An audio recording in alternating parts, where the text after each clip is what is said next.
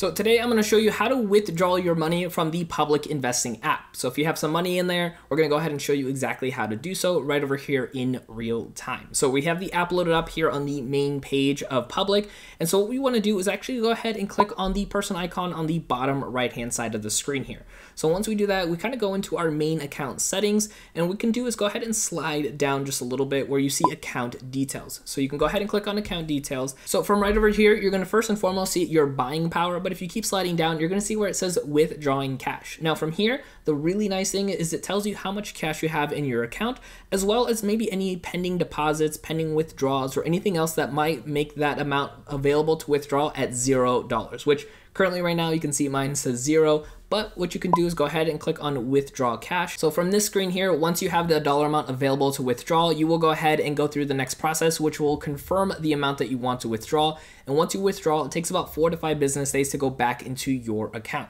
Now, if you're interested in checking out different investing apps for you to be able to use for future investments, check out my video right over here to learn just about those. My name is Dennis, and I will see you in that next video.